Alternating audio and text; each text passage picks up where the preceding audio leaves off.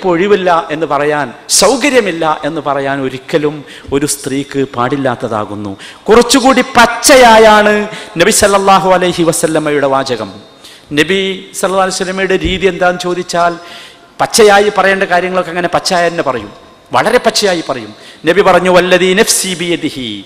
എന്റെ ആത്മാവ് ആരുടെ കയ്യിലാണോ അവൻ തന്നെയാണ് സത്യം. മാമിൻ റജുലിൻ യദുഉ ഇംറാത്തുഹു ഇലാ ഫിറാഷിഹി. ഒരു പുരുഷൻ തന്റെ സ്ത്രീയെ തന്റെ ഭാര്യയെ തന്റെ വിരിപ്പിലേക്ക് ക്ഷണിച്ചു. ഫതഅബ അലൈഹി ഇല്ലാ കാനല്ലദീ ഫിസ് സമാഇ സാഖിതൻ ഹത്താ യർദ അൻഹാ. എന്നിട്ട് അവൾ വിസമ്മതം കാണിച്ചാൽ എനിക്ക് സമ്മതമല്ല എനിക്ക് സൗകര്യമില്ല എന്ന രൂപത്തിൽ അവൾ പെരുമാറിയാൽ ആകാശത്തുള്ളവരുടെ കോപം അവൾക്ക് വരാതിരിക്കുകയില്ല. ഹത്തായർദാൻഹ ഭർത്താവ് അവളെക്കുറിച്ച് തൃപ്തിപ്പെടുന്നത് വരെ. ഗൗരവമുള്ള വാചകമാണ്. ഒരുപാട് സംഗതികൾ ഇതിൽ പറഞ്ഞിട്ടുണ്ട് നബി. ഇദാ ഇംറാതഹു ഇലാ ഫിറാഷിഹി ഫബാത ഹത്താ ഒരു പുരുഷൻ തന്റെ ഭാര്യയെ വിരിപ്പിലേക്ക് ക്ഷണിക്കുകയും തന്റെ ഇംഗിതത്തിന് ക്ഷണിച്ചിട്ട് അവൾ വരാതിരിക്കുകയും അങ്ങനെ രാത്രി അവൾ താമസിക്കുകയും ചെയ്താൽ നേരം വെളുക്കുന്നത് വരെ മലക്കുകൾ അവളെ ശപിച്ചുകൊണ്ടിരിക്കും. ശപിച്ചുകൊണ്ടിരിക്കും. ഗൗരവമുള്ള വാചകമാണ്. ഗൗരവമുള്ള എന്താ നിങ്ങൾക്ക്? പുരുഷനോട് നബി നൽകിയ ഒരു ഉപദേശമുണ്ട്. അത് പുരുഷനെ പറ്റി പറയുമ്പോൾ പറയാമെന്ന് വിചാരിക്കുന്നു പക്ഷെ ഇവിടെ ഒരു സാന്ദർഭികമായി അത് പറയേണ്ടതുണ്ട്. നബി സല്ലാ അലൈഹി സ്വലം പറഞ്ഞു ഇന്നൽ മർ തക്ബലു ഫി സൂറത്തി ഷെയ്ത്താൻ സ്ത്രീ എന്നുള്ളത് ഒരു ഷെയ്ത്താന്റെ രൂപത്തിൽ സ്ത്രീ വരും. ച മനുഷ്യനെ വഴിപഴപ്പിക്കാൻ ഫി സൂറത്തി ഷെയ്ത്താൻ ഷെയ്ത്താന്റെ രൂപത്തിൽ ഈ സ്ത്രീ പിന്നിലേക്ക് പോവുകയും ചെയ്യും മുമ്പിലേക്ക് വരികയും ചെയ്യും. എന്ന് വെച്ചാൽ നമ്മുടെ വിചാരത്തെയും വികാരത്തെയും ഒക്കെ ഇക്കിളിപ്പെടുത്താൻ വരും. എന്നിട്ട് റസൂല്ലാന്റെ വാചകം ഫഇദാ റആ അഹദുക്കും ഇംറഅതൻ.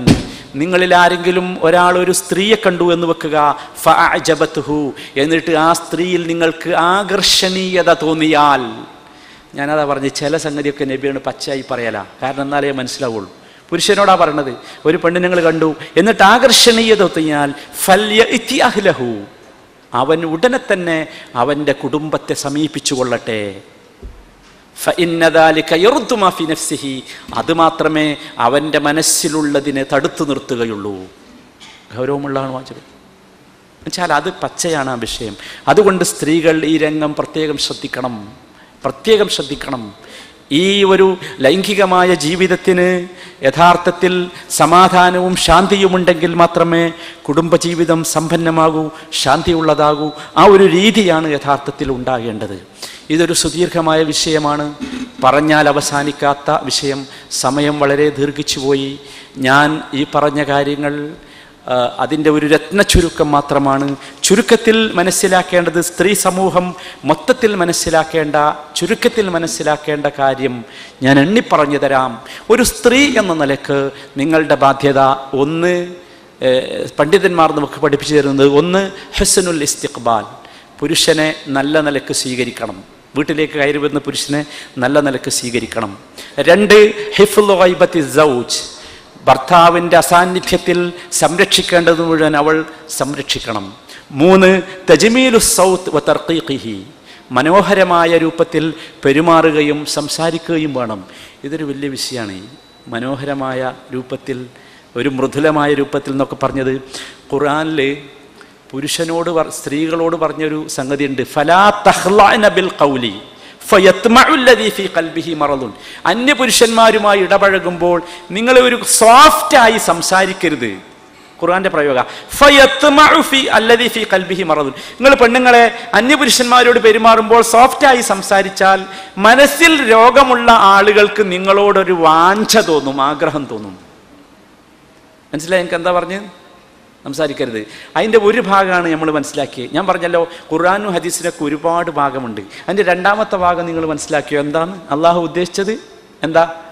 പുരുഷന്റെ മനസ്സിൽ വിചാര വികാരങ്ങൾ ഉണ്ടാക്കാൻ സ്ത്രീകളുടെ സോഫ്റ്റായ വർത്തമാനങ്ങൾക്ക് കഴിയും. അത് ശരിക്കും വളരെ കൃത്യമായിട്ട് മനസ്സിലാക്കേണ്ട ഒരു സംഗതിയാണ് സഹോദരന്. അത് ഞാനായി ആൾക്കാർ കാണൂല ഞാൻ അങ്ങനെ ഒന്ന് ഒന്ന് ഒന്ന് അങ്ങനെ ഒന്ന് ഒന്ന് ഒന്ന് ഒരു കൊഞ്ചലൊക്കെ നടത്തിയാൽ എന്നാണ്. അങ്ങനെ ആളുകൾ കാണുന്ന രൂപത്തിലല്ല അല്ലാത്ത രൂപത്തിൽ തങ്ങളുടെ ജീവിതത്തിന് സ്വസ്ഥതയും സമാധാനവും കൂടുതൽ ആരോഗ്യവും ഭംഗിയും ഉണ്ടാകാൻ കിളിക്കൊഞ്ചലുകൾ ആവശ്യമുള്ളയിടത്ത് അത് വേണം എന്നതാണ് ഖുർആാനിന്റെ പരാമർശം.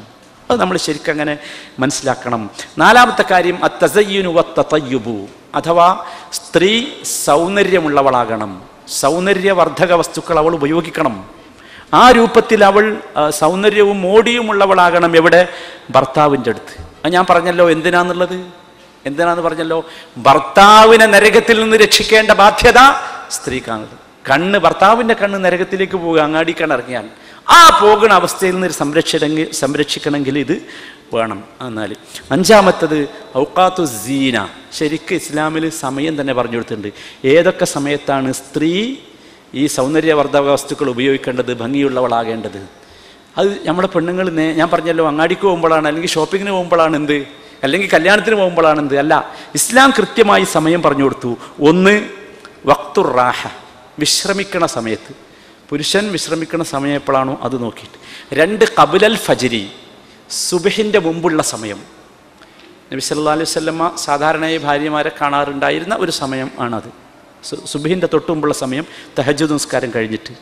മൂന്ന് ഐന്ദൽ ലഹീറ ഉച്ച സമയത്ത് വിശ്രമിക്കുമ്പോൾ. ഒരു വിശ്രമത്തിന്റെ സമയമാണ്. നാല് ബാദൽ ഐഷ ഐഷായുടെ ശേഷം. അഞ്ച് ഐന്ദൽ ഔദത്തി മിനസ് സഫർ പുരുഷൻ യാത്ര കഴിഞ്ഞ് തിരിച്ചു വരുമ്പോൾ. ഈ അഞ്ച് സമയങ്ങളിൽ സ്ത്രീ എന്താക്കണം? ഈ മോടിയുള്ള രൂപവും രീതിയും വസ്ത്രവും വസ്തുക്കളും ഒക്കെ ഉപയോഗിക്കണം എന്നതാണ്. ഇത് നമ്മൾ എന്തിനാ ഞാൻ ഈ ഞാൻ നേരത്തെ പറഞ്ഞല്ലോ എന്തിനാണ് ഈ പുരുഷന്മാരുടെ സദസ്സ് ഇത് പറഞ്ഞത്? ഇത് നമ്മളൊരു ഉപദേശമായി നമ്മുടെ മക്കളെ പഠിപ്പിക്കുന്നേ വേണം ഈ വിഷയങ്ങളൊക്കെ. ജീവിതം അങ്ങനെയൊക്കെയാണ് ഇനി. അതേമാതിരി അഞ്ചാമത്തെ കാര്യം ഇജിത്നാബു സീനത്തുൽ മുഹറമ. അള്ളാഹു ഹറാമാക്കിയ രൂപത്തിലുള്ള സൗന്ദര്യം പ്രദർശിപ്പിക്കാൻ പാടില്ല. അപ്പോൾ ഈ അങ്ങാടി കൂടെ ഇങ്ങനെ ലിപ്സ്റ്റിക്കൊക്കെ ഇട്ട് പോകുന്ന ഒരു ടീമുണ്ടല്ലോ അത് നമുക്ക് പറ്റിയതല്ല. അതെന്തേ? അത് ശരിയല്ല. അത് ഹറാമാണ്. ആ പെണ്ണിന് എന്റെ പെണ്ണ് എന്റെതായിരിക്കണം എന്റെ സ്വത്താണ്. അതിങ്ങനെ നാട്ടിലുള്ള എല്ലാവരും ഇങ്ങനെ നോക്കി വിഭജിക്കാനുള്ളതല്ല എന്നൊരു ചിന്ത. ഏഴാമത്തെ വിഷയം താത്ത് സൗജ്.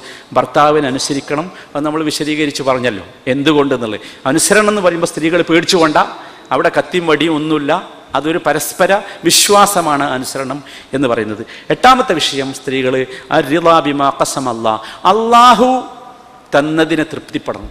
ഇതെനിക്ക് അല്ല നിശ്ചയിച്ചതാണ്. ഞാനത് തൃപ്തിപ്പെടണം എന്ന ഒരു ചിന്ത ഉണ്ടാകണം. അത് ഏറ്റവും പ്രധാനമായ ഒരു വിഷയമാണ്. ഒമ്പതാമത്തേത് എഴുതാതു താം വൈത്തഖാനിഹി ഭക്ഷണം ഉണ്ടാക്കാൻ അത് വലിയൊരു വിഷയം തന്നെയാണ്.